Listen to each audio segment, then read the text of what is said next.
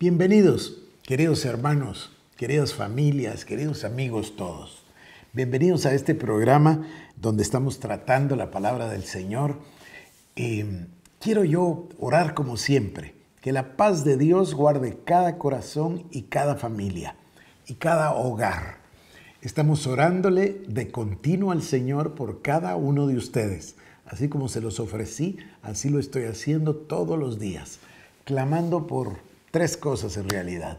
La uno, que la palabra de Dios ilumine nuestros corazones. La dos, que la palabra de Dios nos acerque a Él. Y número tres, y esto es lo que a mí me entusiasma, que cada uno de nosotros podamos en realidad entrar o reforzar un pacto de santidad con Dios para que vivamos para Él.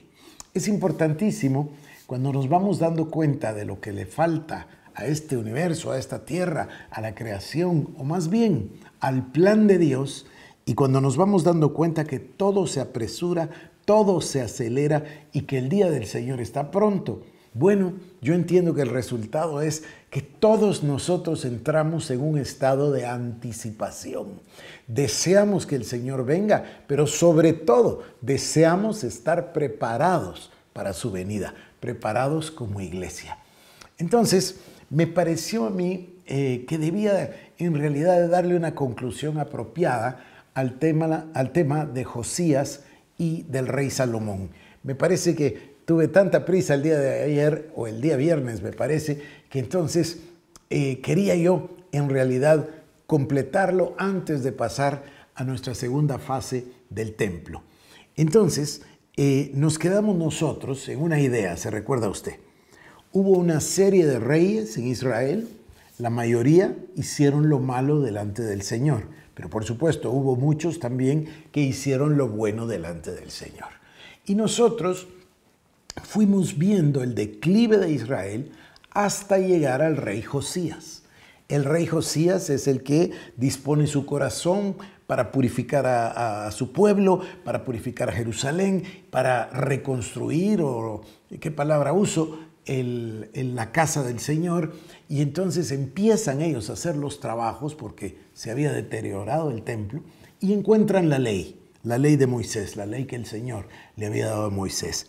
¿Cómo sería el estado de deterioro, de declive, de decadencia que se había perdido la ley adentro del templo? Es una cosa increíble, me cuesta mucho, me cuesta mucho entender. Por supuesto, que es un periodo de muchísimos años, no son pocos, a partir de Salomón. Bueno, ya tratamos al rey Josías, el rey Josías enterneció, dice la palabra, su corazón cuando encontró la palabra de Dios, cuando encontró la ley y tuvo un inmediato cambio. Entendió perfectamente, pudo discernir que ellos estaban viviendo en pecado, que habían hecho lo que estaba mal delante de Dios y que había que corregir se dio a la tarea de destruir todos esos ídolos que habían llegado a parar, imagínese usted, hasta incluso adentro del propio templo. Una cosa increíble. Bueno, él se dedicó a la purificación y luego, dice la palabra, que santificó al pueblo, hizo un pacto con Dios, siguió a Dios y todo el pueblo siguió a Dios con él.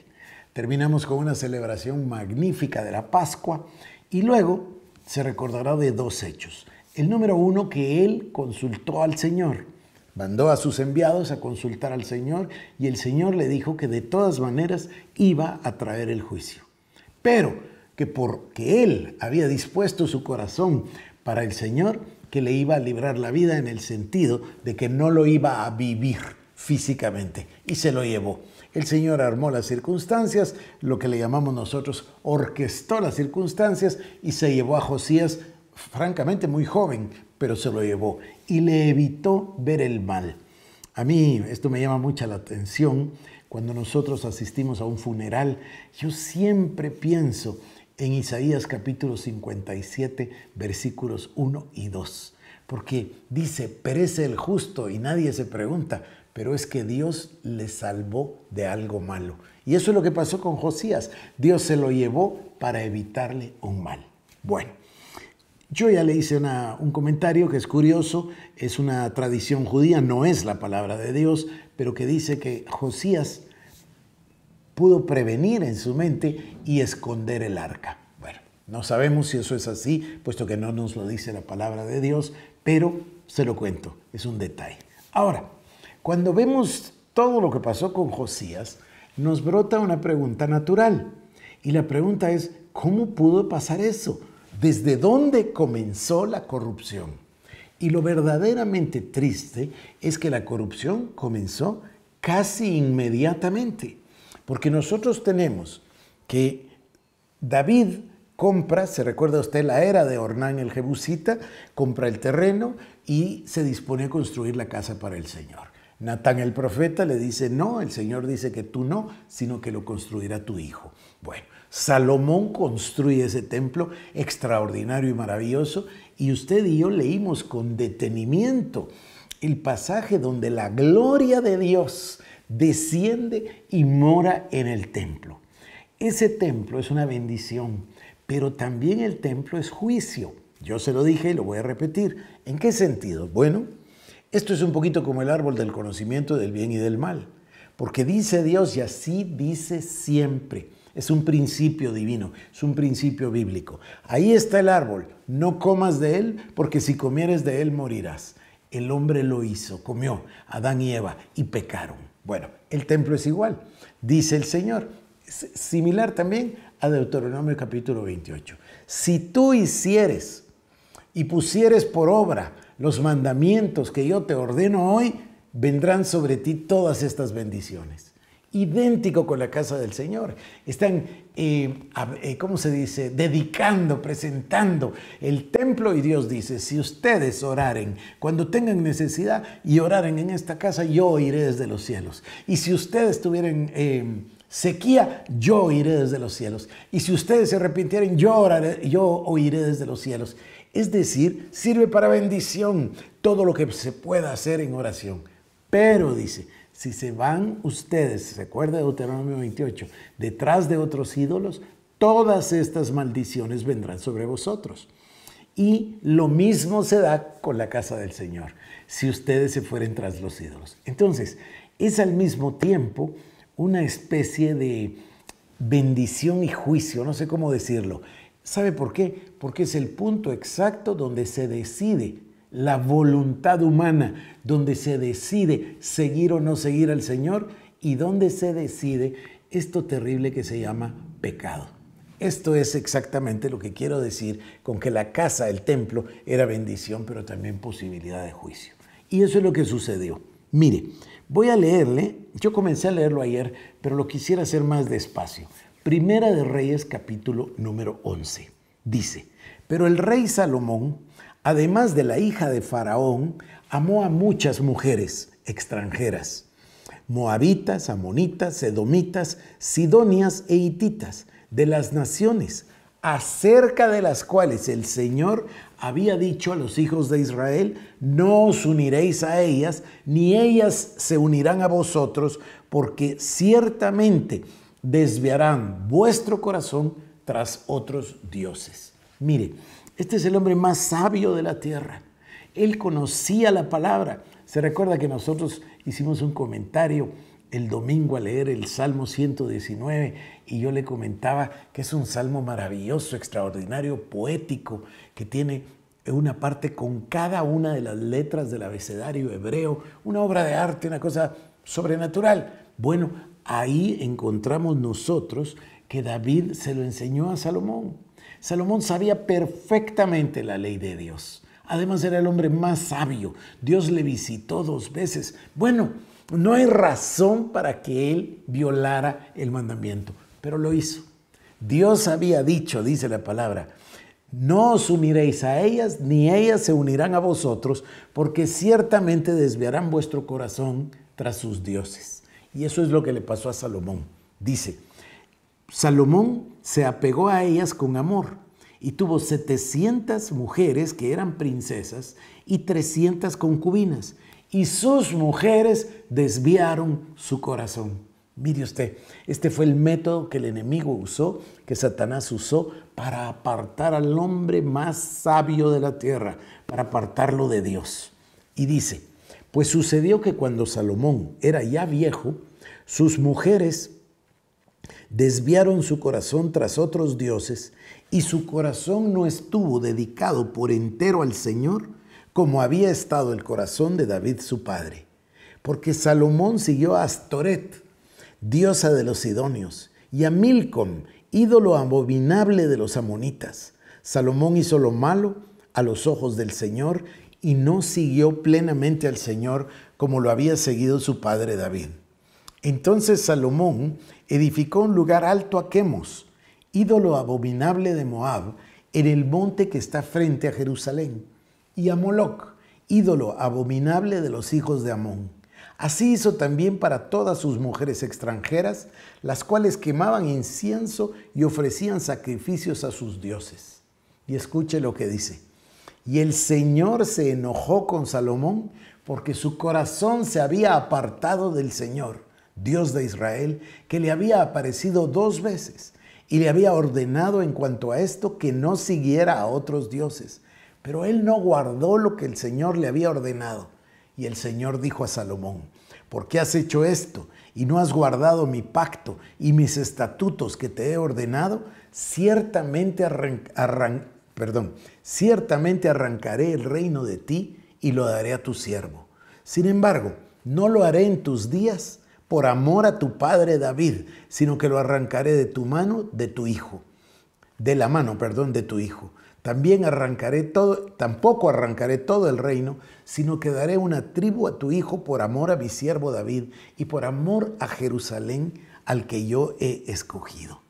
Y fíjese, no voy a leer todo el pasaje, pero en el verso 14, estamos en Primera de Reyes 11, en Primera de Reyes 11, 14 dice, entonces el Señor le levantó un adversario a Salomón, Adad Edomita, que era del linaje de Edom. Y vamos al versículo 23, mismo capítulo, Primera de Samuel 11, ahora 23.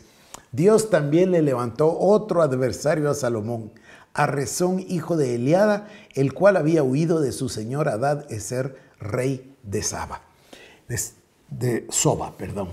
Fíjense, el corazón del hombre más sabio de la tierra se desvió por dos razones. Usted dirá, las mujeres lo, corrompieron. Sí, pero el fondo no es ese. El fondo es que él sabía que no debía de haberse unido a esas mujeres en primer lugar. Porque la palabra lo decía con claridad. No os unáis vosotros a ellos y que ellas no se unan a vosotros porque ciertamente apartarán eh, tu, corazón detrás de otros dioses. Y se dio exactamente. Ahora, yo quisiera llevar esto, ¿se acuerda de mi idea de los dos hilos conductores? Bueno, yo quisiera llevar esto a lo que más me interesa, que es el pacto de santidad. Esto no pasó en dos días. Usted se fija que dice cuando Salomón era ya viejo, o sea, transcurrió tiempo para que esto pasara. Y yo quiero hacer un símil con la iglesia del día de hoy. La iglesia del día de hoy no refleja la pureza de la iglesia del libro de Hechos de los Apóstoles. No, todo lo contrario. Fíjese, la iglesia se parece más al mundo que diferenciarse del mundo. Cuando usted mira la iglesia de Hechos de los Apóstoles, eran 100% distintos, diferentes, diferenciados de la sociedad que les rodeaba. Sin embargo, le ha pasado a la iglesia muchísimas veces, por eso hay un autor que yo respeto mucho que hace un comentario y dice, reformas en la iglesia con R minúscula ha habido muchísimas. Reforma con R mayúscula protestante, pues por supuesto una hace 500 años. Pero yo respeto esto porque la iglesia ha necesitado reforma muchas veces y ha habido inmensos hombres y mujeres de Dios que han clamado por reforma, que han clamado por avivamiento y que han sido premiados en sus oraciones con la visitación del Espíritu Santo y con verdaderos avivamientos, con verdaderas transformaciones, con verdaderas visitaciones de Dios. Entonces, para mí lo importante es eso. Y yo veo que la iglesia necesita una reforma otra vez. Hay un libro que no es enorme de tamaño, más bien es pequeño, pero es profundo, que se llama la necesidad de reforma de la iglesia. Y está escrito hace más de 500 años por Juan Calvino, no, poco menos de 500 años, escrito por Juan Calvino. Es decir, el tema de la reforma de la iglesia ha sido un tema permanente. La iglesia se desvía. Quizás no pone una estatua de acera dentro del templo, a lo mejor y no pone a Milcom, ídolo abominable, eh, ¿verdad?, adentro del templo, pero lo que tenemos es una separación de Dios, una distancia. ¿Cómo podemos nosotros identificar y medir esa distancia? Bueno, se lo voy a decir, a mí me parece que esto es lo que dice el apóstol San Pablo. No os conforméis al presente siglo, sino transformaos. Entonces, la diferenciación es un requisito indispensable. La iglesia tiene que ser distinta, si no, ¿de qué sirve? Ya no, ya no es sal que pueda salar y ya no alumbra, entonces ¿de qué sirve? La sal que no sala y pierde su sabor, solo sirve para ser tirada al piso. Entonces, fíjese bien, la cultura impera en la sociedad en la que vivimos. No importa si usted vive en Canadá o en Estados Unidos, en Argentina, en México, en España, no importa. Hay una cultura imperante en la sociedad. Ya hemos hablado con detalle de esto. Hoy en día se le llama una cultura post-cristiana, se habla de la post-verdad, incluso se habla del postmodernismo, etc. También se habla de una sociedad líquida. Es una sociedad que está corrompida. Y cada vez es más evidente la corrupción en todas las esferas de la sociedad y en todo sentido. La iglesia debiera ser un faro de luz la iglesia debiera ser la luz del mundo, la sal de la tierra. La iglesia debiese ser diferente y mantenerse en los principios de la palabra de Dios y no ceder ante las embestidas del mundo. Puede ser que el mundo luzca agradable y puede ser también de que se necesiten recursos que provienen del mundo, pero eso no debería corromper nuestros principios. Mire, yo tengo una anécdota que me parece a mí que que, es apropiada. Yo tuve un problema hace un tiempo. Una persona de la iglesia, un miembro de la iglesia, eh, vino a visitarnos y a decirnos de que se iba de la iglesia porque yo había cometido un pecado. Y mi pecado era haber llevado a la universidad y haberle hecho un homenaje a una persona que ella sabía que era un adúltero, que tenía otra señora. Bueno, a mí me pareció en mi mente que estaba equivocada, porque yo pensé, bueno, una cosa es la iglesia, otra cosa es una universidad, son dos cosas distintas. Es como si, si nosotros tuviésemos un equipo de fútbol, es una cosa distinta, no es exactamente iglesia. Sin embargo, le voy a contar que me hizo un efecto y dije yo, no sea que yo sea el que estoy equivocado, yo voy a buscar a Dios y voy a preguntar y voy a tratar de entender, porque a lo mejor yo soy el equivocado. Yo pensaba que yo no estaba equivocado, pero admití la posibilidad de equivocarme. Porque dicen que no hay peor ciego que el que no quiere ver. Entonces, aunque uno esté ciego, uno debe de buscar la luz, uno debe decir, puede ser que yo sea el equivocado. Entonces me puse a buscar al Señor y me dio una respuesta que me impresionó, me impresionó mucho. Se la quiero leer. Está en la primera carta del apóstol San Pablo a los Corintios. Usted seguramente recuerda que Pablo le escribe a los Corintios. Corinto era una ciudad cosmopolita, una ciudad de lo más moderno que había. Cuando digo cosmopolita, había influencias de muchísimas otras naciones, idiomas. Era una ciudad rica, culta, con muchísimo entretenimiento. En fin, las novedades llegaban ahí a Corinto. Y por supuesto el mal también.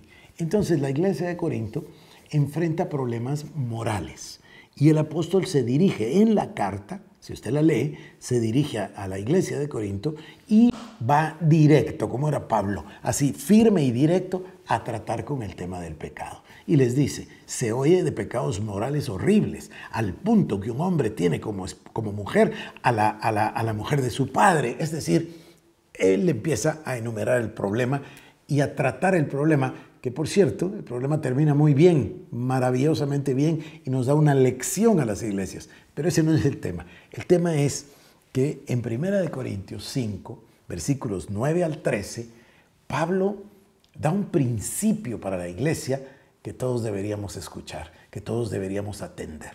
Dice así, en mi carta os escribí que no anduvierais en compañía de personas inmorales. Pues hasta ahí todo bien, ¿no? En mi carta os escribí que no anduvierais en compañías de personas inmorales. Escucha esto. No me refería a gente inmoral de este mundo, o a los avaros y estafadores, o a los idólatras, porque entonces tendríais que salir del mundo. Observe, la sal de la tierra, la luz del mundo, vive en el mundo. Dice que nos dejó en el mundo, no somos del mundo, pero ahí estamos. Voy a repetir. En mi carta os escribí que no anduvierais en compañía de personas inmorales. No me refería a la gente inmoral de este mundo, o a los avaros y estafadores, o a los idólatras, porque entonces tendríais que salir del mundo sino que en efecto os escribí que no anduvierais en compañía de ninguno que, llamándose hermano, es una persona inmoral o avaro o idólatra o difamador o borracho o estafador. Con ese ni siquiera comáis. Pues, ¿qué he de juzgar yo a los de afuera? ¿No juzgáis vosotros a los que están adentro de la iglesia? Pero Dios juzga a los que están afuera. Expulsad de entre vosotros al malvado. Bueno, esto por supuesto llegó a ser incluso motivo de mucho legalismo. Se le llegó a llamar ponerlo en disciplina y bueno, una serie de cosas humanas que no son necesariamente el trato que la iglesia le dio a este hombre, que por cierto, la misma palabra de Dios habla de su arrepentimiento y de su reintegración a la iglesia. El punto es que la iglesia debe ser un faro de luz. Puede ser que la iglesia se relacione con avaros o con idólatras o con gente que tiene conductas inmorales. Puede ser, pero el tema no es ese. El problema no es ese. El problema es los que llamándose hermanos actúan así. Ahí es donde la iglesia pierde muchísimo. Fíjese, cuando yo recién recibí a Cristo hace 40 años, me sorprendió a mí, bueno, en realidad no recuerdo exactamente si es previo o posterior a que yo recibiera a Cristo, pero me recuerdo que yo fui a trabajar como abogado, todavía haciendo prácticas de estudiante, fui a trabajar a una empresa y me sorprendió que la empresa tenía en su política, yo trabajé en el departamento laboral de la empresa, tenía entre sus políticas contratar evangélicos. El dueño era un señor al que yo apreciaba muchísimo, ya, ya, ya no vive, y aprendí muchísimo de él y además le tenía confianza como para hacerle preguntas. Así que un día fui y le dije, mire, perdone, me encontré esta regulación. Dice que es política de la empresa contratar evangélicos. Ya, ya me acordé yo. Yo no era todavía creyente, ya, ahorita estoy recordándome, es, es, previo a que, yo, a que yo hubiera recibido a Cristo. Y entonces me dijo, sí, es que es gente magnífica, me dijo, jamás te roban, no beben, no mienten, no tienen otra mujer quedé impresionado. Años después, muchos, cinco, diez años después, me tocó tratar con una empresa de lo más grande de Guatemala. No sé si es la más grande, pero seguro entre las dos, tres más grandes del país. Y me volví a encontrar la misma política. Decía que para sus negocios, sus sucursales, etcétera, se pusiera preferencia a los evangélicos por su conducta. Es algo maravilloso, ¿no le parece a usted? Sin embargo, recientemente, hace tres o cuatro o cinco años, muchas empresas dicen no queremos evangélicos. No los queremos porque mienten. ¿A qué se refiere? Se refiere a que ya no, primero, ya no hay ninguna diferencia entre una cosa y otra. Se perdió, se perdió en 30, 40 años. Y la dos, mienten en el sentido de que dicen que son una cosa, pero al final son otra. Entonces, ¿qué es lo que pasa? Fíjese, a lo mejor, vuelvo a insistir, no se pone una imagen de acera o no se pone una imagen de Milcom o no se construye un lugar alto. Pero la verdad es que muchos de esos ídolos siguen reinando en la cultura y se han colado adentro de la iglesia. Y le voy a poner al principal. Este es el más importante y francamente este es el que le provoca los problemas a todos. Se llama mamón las riquezas. El único pasaje de la Biblia, y esto es en la boca, en las palabras de nuestro Señor Jesucristo, el único lugar en la Biblia en que se hace algo equivalente a Dios, porque en toda la Biblia los dioses son con D minúscula los que no crearon los cielos ni la tierra, son ídolos, no son nada. Pero el único lugar es cuando el Señor Jesucristo dice, nadie puede servir a dos señores. Y lo pone a la par de Dios y dice, a Dios o a Mamón. Depende de la versión que usted tenga, dice a Dios o a las riquezas. Y lo coloca ahí. Este es el Dios de este día. Este es el que manda todas las cosas. Cuando usted busca el poder, cuando usted busca la corrupción, cuando usted busca la mentira, cuando usted busca, ahí dice avaros, idólatras, todo esto es a través del dinero. Por eso dice que el amor al dinero es la raíz de todos los males. Esto es lo que está pasando hoy en día y usted lo mira por todas partes, por todas partes. Y no hablo yo de Guatemala, ni tampoco hablo de algún país en particular. Hablo de todas partes. Ese es un ídolo. No es el único. No es el único. El tema de la fama, el tema de la popularidad, el tema de la, bueno, del dinero ya le dije, el tema de los números, el tema de la competencia, están a la orden del día. Una vez deberíamos hacer un estudio. Yo lo hice, uff, por allá por el principio de los años 90 lo hice, ¿sabe usted? Josué fue el encargado de entrar a la tierra prometida y batallar contra un número de más de 30 reyes. Cuando usted hace el estudio etimológico de cada uno de los reyes, se va dando cuenta que cada rey representaba no un reino físico, sino un pecado, un reino espiritual que compite con la santidad y el amor a Dios. Por eso yo le estoy invitando, hoy, termino con este tema y reanudaré eh, próximamente lo del templo, pero antes le vuelvo a invitar, perdóneme que insista tanto, en que cada uno de nosotros busquemos el crecimiento en nuestro nivel de santidad con Dios. Mire que sin santidad nadie podrá ver al Señor. Tenemos que ajustar nuestras cuentas, pedirle a Dios que nos abra los ojos de dónde estamos mal o, qué es lo que no le complace para ir limpiando nuestra vida. O como hizo Josías, dice, purificó a Jerusalén. Purificó, qué linda palabra, ¿no? Nosotros necesitamos purificar nuestras vidas, purificar nuestra alma, purificar nuestra relación con Dios, vivir en pureza, vivir en santidad. Bueno, termino este tema por hoy eh, si usted quiere meditar, vale la pena. Vale la pena que lea usted el recuento en el libro de Reyes de la vida de Salomón, Crónicas, y, y que usted lo estudie y lo piense. Este era el hombre más sabio de la tierra. Y fíjese dónde fue a parar. Y, por supuesto, ya para los efectos de nuestro estudio, ahí comenzó el declive de Israel hasta llegar al noveno día del noveno mes en el año 586 a.C., la destrucción de este templo, tan hermoso, tan lindo, donde estuvo la gloria de Dios. Y sin embargo fue destruido y el pueblo fue llevado a la cautividad de Babilonia. Ya pasaremos ese tema y nos vamos a encontrar con otros personajes maravillosos como Esdras, como Nehemías, como Zorobabel, ya, ya, lo veremos. Pero eh, por el momento yo quisiera dejarle con una reflexión. Mi oración es que todos podamos crecer en nuestro nivel de santidad para con Dios. Que Dios le bendiga.